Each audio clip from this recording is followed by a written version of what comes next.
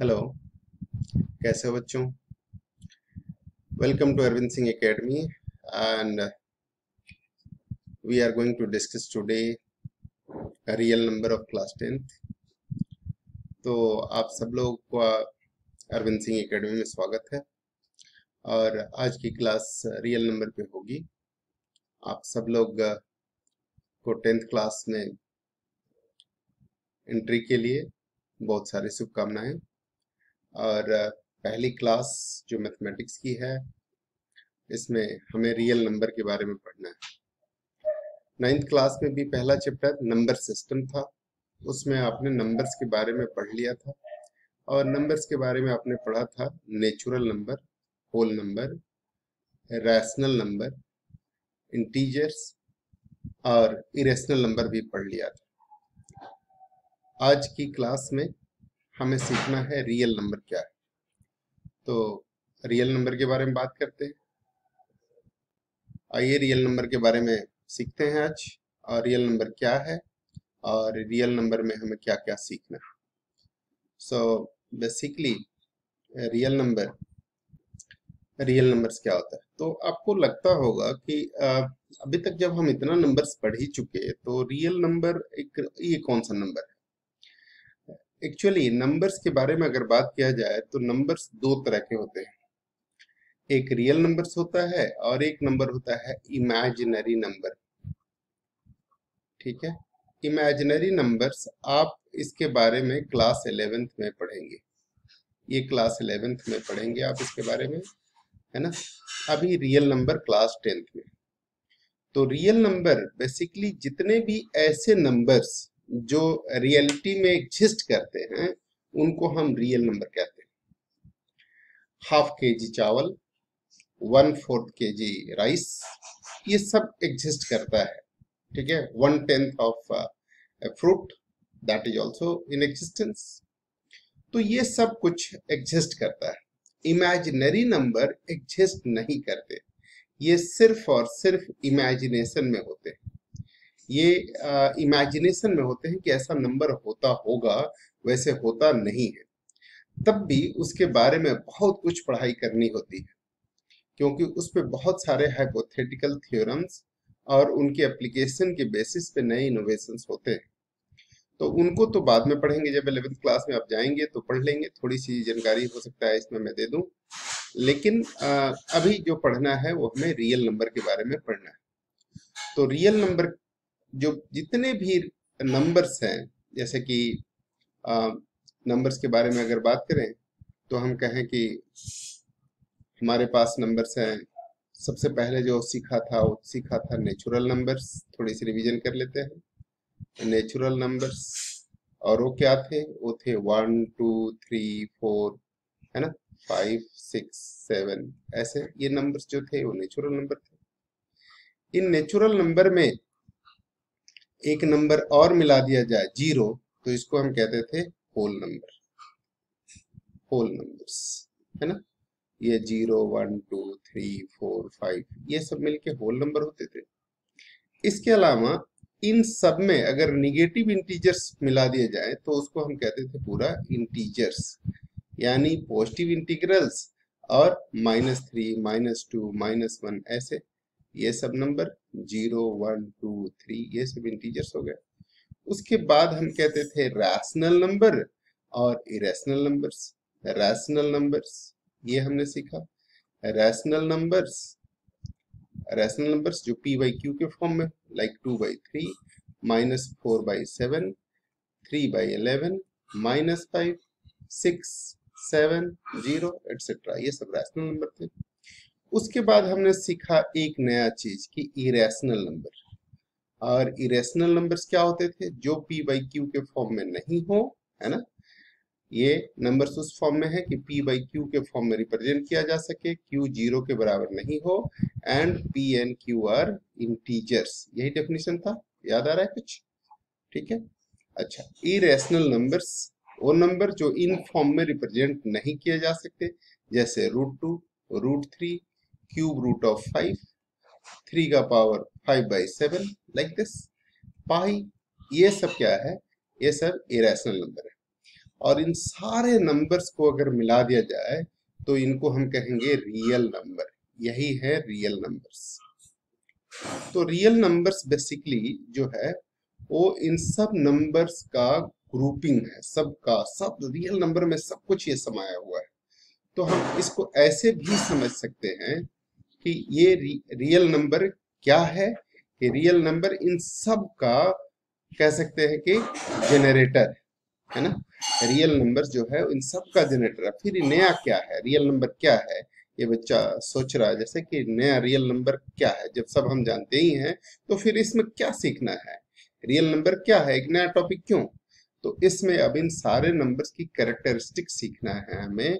और उनकी कुछ करेक्टरिस्टिक्स है। जैसे कि हम कहें कि रियल नंबर जो है, उसमें दो तरह के नंबर्स होते हैं। अगर हम यहीं से बात फिर से डिवीज़न कर दूँ तो ये कहें कि रियल नंबर दो तरह के होते हैं। एक रैशनल और दूसरा इरेशनल ये कहेंगे इरेशनल नंबर इरेशनल नंबर्स ठीक है and rational numbers rational numbers ठीक है? अब ये रैशनल नंबर्स जो होते हैं, ये दो तरह के होते हैं। रैशनल नंबर्स भी दो तरह के हो सकते हैं। एक हो सकता है आपका रैशनल नंबर में एक होते हैं इंटीग्रल नंबर्स और दूसरा होते हैं fractional number fractional number fractional numbers और दूसरा इंटीग्रल नंबर्स इंटीग्रल नंबर्स जैसे integers fraction number like three by five five by seven minus two by eleven like this इस तरह के। और ये होते हैं integral numbers like minus three minus two zero one two three ऐसे कुछ नंबर्स इंटीग्रल नंबर्स में दो कैटेगरी होती है। एक होते हैं निगेटिव इंटीजर्स निगेटिव इंटीजर्स और दूसरा होते हैं होल नंबर्स होल नंबर्स मतलब यहाँ से लेकर के, ये ज़ीरो से लेकर के आगे सारा होल नंबर में आता है और ये सब जो है वो किसमें आता है? निगेटिव इंटीजर्स में आता है। तो ये दो भाग हो गए। यानी होल नंबर में होगा हमारे पास zero one two three four five ऐसे। अब ये होल नंबर्स को भी अगर हम फर्दर कैटेगराइज करें तो एक होगा ज़ीरो और दूसरा होगा नेचुरल नंबर ज़ीरो और नेचुरल नंबर इन नेचुरल नंबर में भी दो तरह के नंबर्स हो सकते हैं. इवन और odd numbers even numbers and odd numbers एक और डिवीज़न हो सकती है इसकी नेचुरल नंबर की. एक डिवीज़न और हो सकती है prime number and composite number prime numbers और कंपोजिट नंबर्स कंपोजिट नंबर्स अब ये क्या होता है? और एक ज़ीरो ये तीन कैटेगरी हो सकती है इसमें।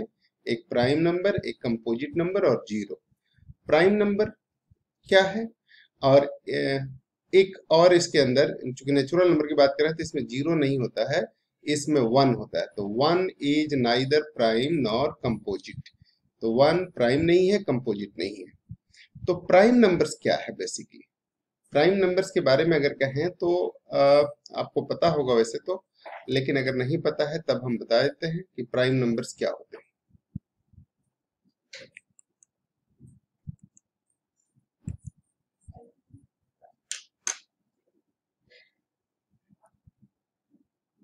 तो बात करते हैं प्राइम नंबर्स क्या होते हैं। Prime numbers a number which has exactly two divisors two divisors one and itself. Right? That is called prime number. So for example 2 3 5 7 11 13 तो प्राइम नंबर्स है two three five seven eleven thirteen इस तरह के prime number है। इसके exactly दो ही divisor है। जैसे टू के डिवाइजर की बात करें तो टू के एक तो डिवाइजर वन है, एक टू खुद है।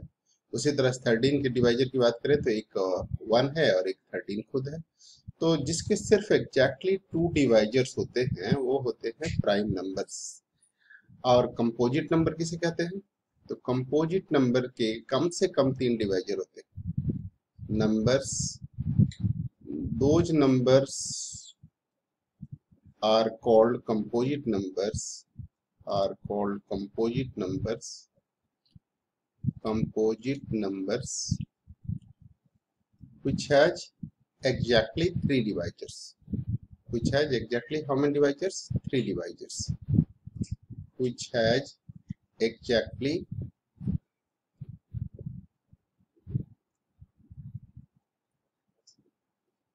Who have, which has at least three divisors at least three divisors तीन भी हो सकते हैं और तीन से ज़्यादा भी हो सकते हैं। तो इनको हम कहते हैं कंपोजिट नंबर्स ठीक है? जैसे फोर फोर कंपोजिट नंबर है। क्योंकि इसके कितने डिवाइजर्स हैं?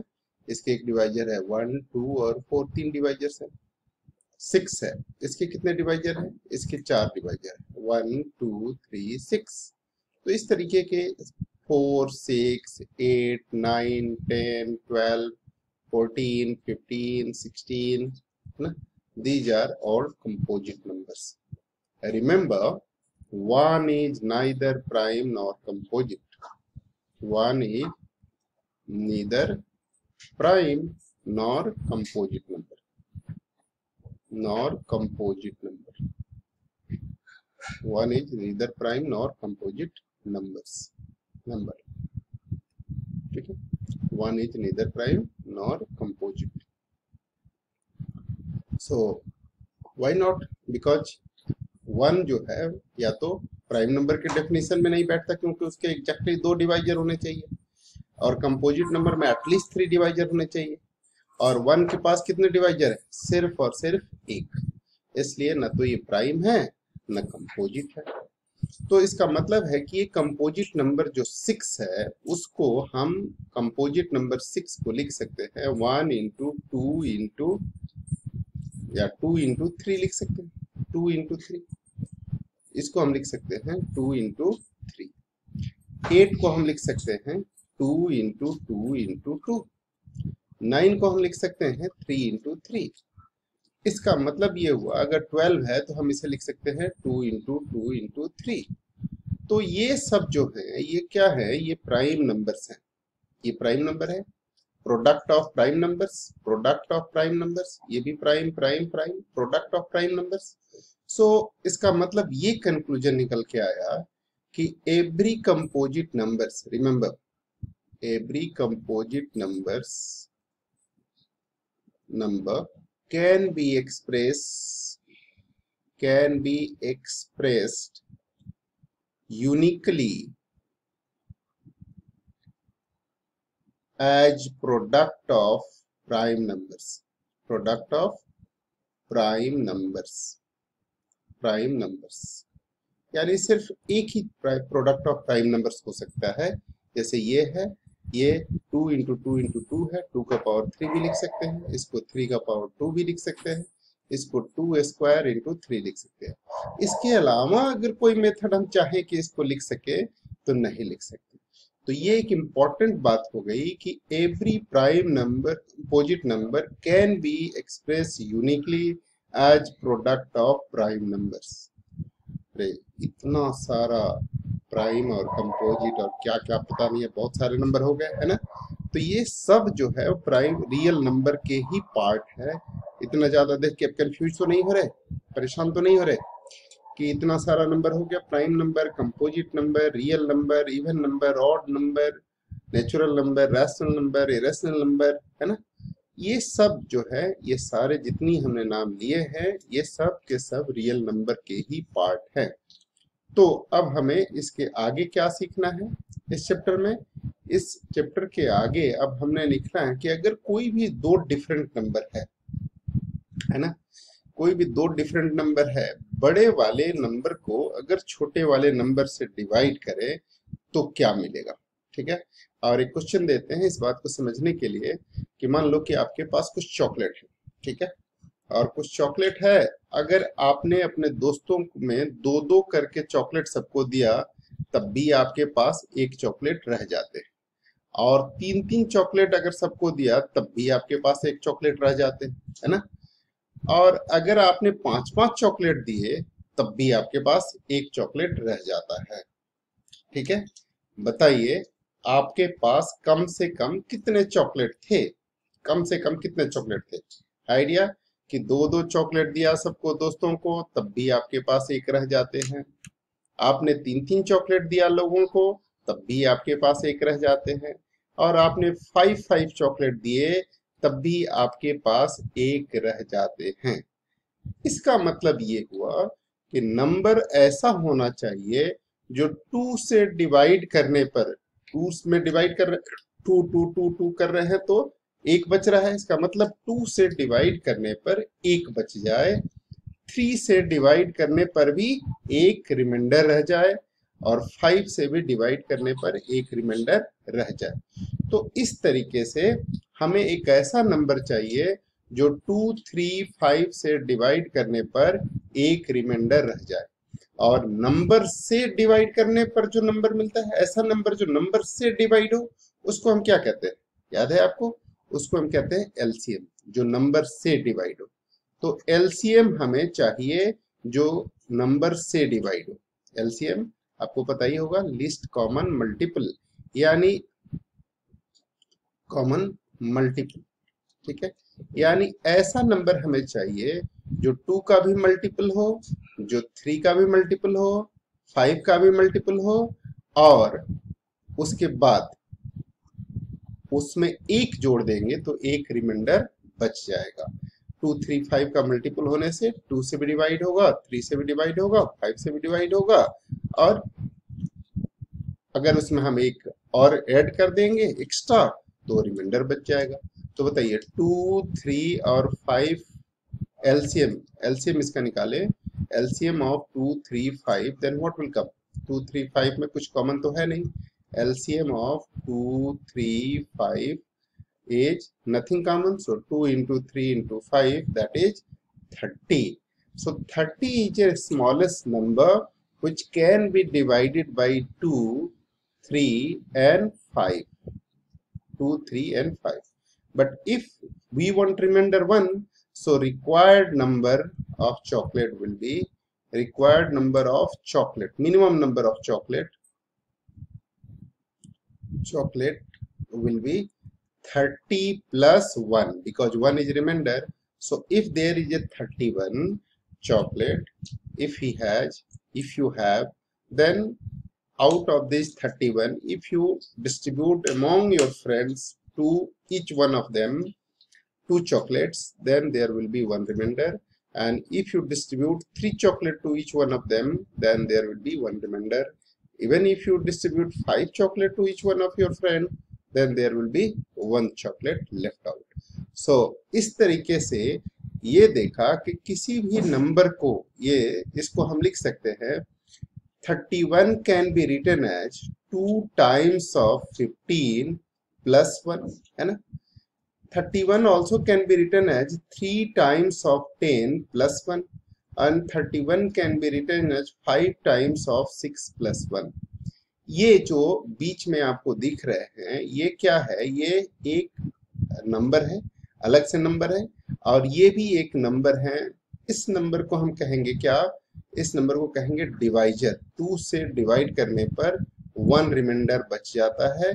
तो टू जो है, वो है डिवाइजर ये जो है, ये क्या है? कोसेंट और ये क्या है? रिमाइंडर देखिए 31 को अगर हम 2 से डिवाइड करें तो 15 times 30 and one as reminder so 31 can be represent as two times of divisor divisor multiply by quotient plus reminder ये है डिवाइजर ये है कोसेंट ये है reminder means number can be express every number can be expressed as divisor multiply by quotient plus reminder ठीक है? Number is equal to number को dividend कहते हैं। नंबर को क्या कहते हैं? डिविडेंड ठीक है?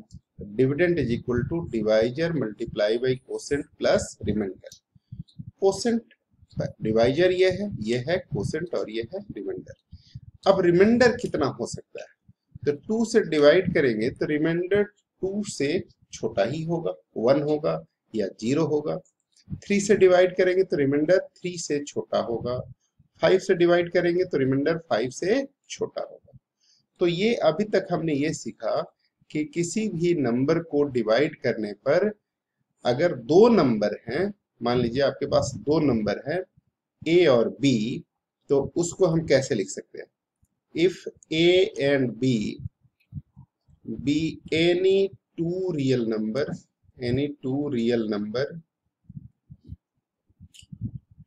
numbers such that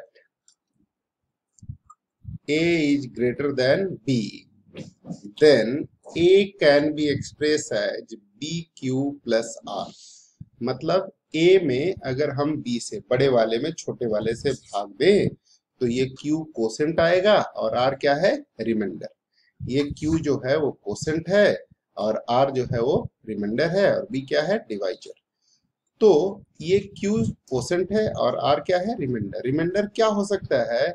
ज़ीरो हो सकता है या बी से छोटा हो सकता है. Reminder lies between zero to one zero reminder कब होगा? जब पूरा पूरा डिवाइड हो जाएगा, तब ज़ीरो रिमाइंडर होगा और अगर पूरा पूरा डिवाइड नहीं होगा, कुछ रिमाइंडर बचेगा ही तो निश्चित रूप से डिवाइजर से छोटा होगा। तो डिवाइजर से छोटा होगा। इसी बात को अगली क्लास में हम और ज़्यादा डिटेल में सीखेंगे और इसी के आधार पे कुछ कोरिलरी है, जिसको यूक्लिड डिवीज़न लेमा कहते हैं। उस पे बात करेंगे। बेस यही है उसका कि यूक्लिड डिवीज़न लेमा इसी नंबर के आधार पे बना है। और इसी को अगले दिन हम बात करेंगे और इसके आधार पे आगे क्वेश्चन करेंगे। ठीक है? तो उम्मीद है कि आपको ये सारी बातें समझ में आ गई होगी। अब परेशान होने वाली कोई बात तो नहीं है। ठीक है? सो so, अगली लेक्चर में ब्रेक के बाद मिलते हैं और ब्रेक के बाद दूसरे वीडियो में और आपको यूक्लिड डिवीज़न लेमा के बारे में बताते हैं। ठीक है? तब तक इसको रिवाइज कर लेना अच्छे से और फिर मिलते हैं।